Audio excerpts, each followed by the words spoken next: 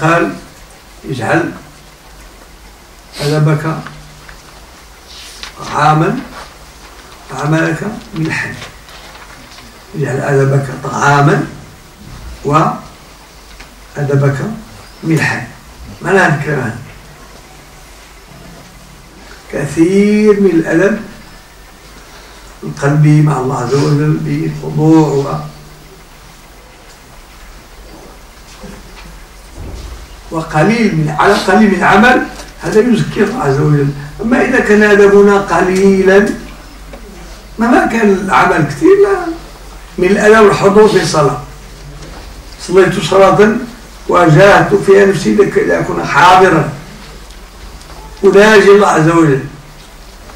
ركعتان خير من ألف ركعة وأنا غايب ألف ركعة تكون بالجسم. آه يا الله يا الله يا الله كريم.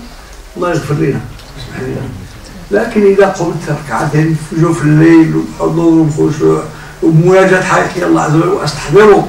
ما أقول عندما أقول اهدنا الصراط المستقيم وعندما أحمد وأثني على الله عز وجل. يكون هذا هو الأدب المقصود. وبهذه المناسبة كنشوف أن عمر شي واحد منكم ما قال لي علاش كطول في الصلاة. كنطول بزاف.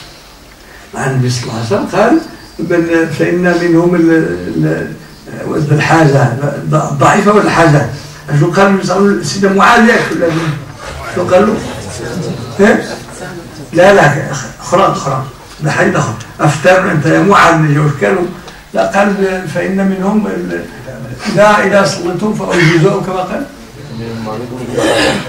نعم. المريض وذو الحاجة هي هي ضعيف المريض مريض لا الأول الحديث.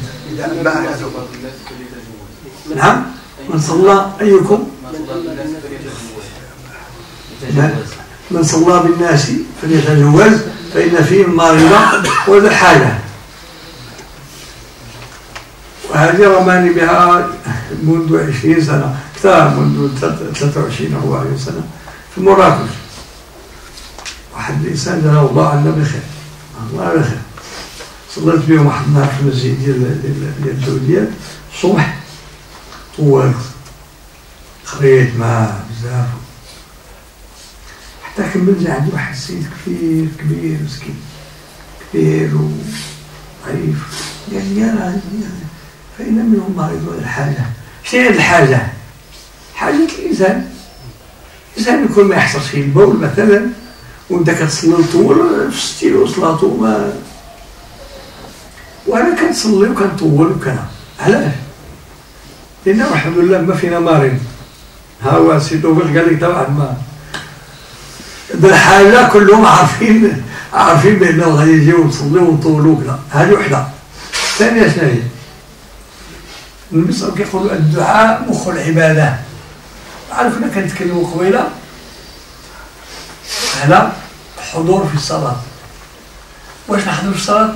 نستحضر حاجتي لأنه أنا أناني حوبتي وحاجتي الله عز وجل فالسجود أقرب ما يكون العبد من ربه وهو سهل وسيدي مولانا عندي حاجات كثيرة مع الله تعالى كثير داكشي خصني في كل سجود نغتنم فرصة وندعو الله. فبحضوري ودعواتي ومخ العبادة تكون صلاتي لها قيمة وأنا حاضر. حاضر مع حاجاتي ومع ربي. هذا كونوا باش نكونوا نكونوا غاديين في الله. لما نكونوا مع ناس فنخفوا إذا كان فيها يعني الداعي إلى التخفيف نخفوا ولكن إحنا كلنا كلنا مقبلين على الله عز وجل. كلنا عندنا حاجات نتعلموا كيفاش كيفاش هذه الصلاة يكون فيها حضور باش تكون صلاة بالجسم. الأدب طعاما وعملك ملحا الله عز وجل يوفق إذا نشوفوا المستقبل وثقة الله عز وجل. ولا يستخفنك الذين لا يوقنون. والقرآن نقطة أخرى كان خصتكم هي الأولى ولكن هي الأولى في الاعتبار.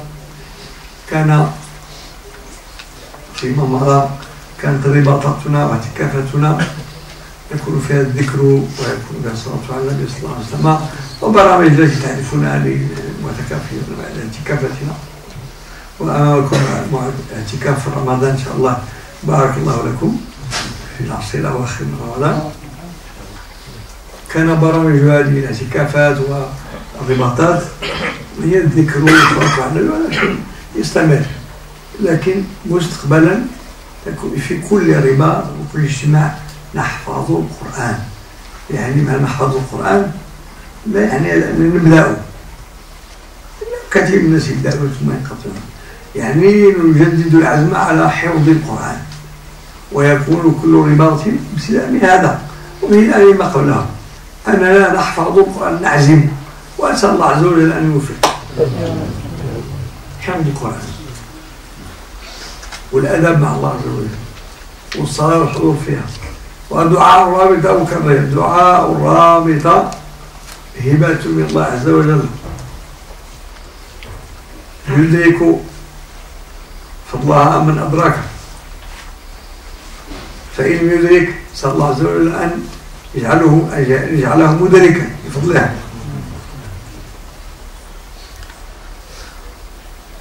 مذكر برضا الوالدين. بالأدب مع الوالدين. بالحلب مع الوالدين. بالرحمة الوالدين. ما يبلغن على الكبر أحدهما وكلاهما.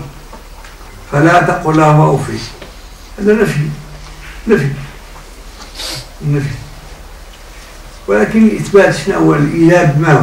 لا سلب. لا تقل لهما أفي يعني هذا مجال ذاك اللي هو يعني مكسرة مع الوالدين ديالو.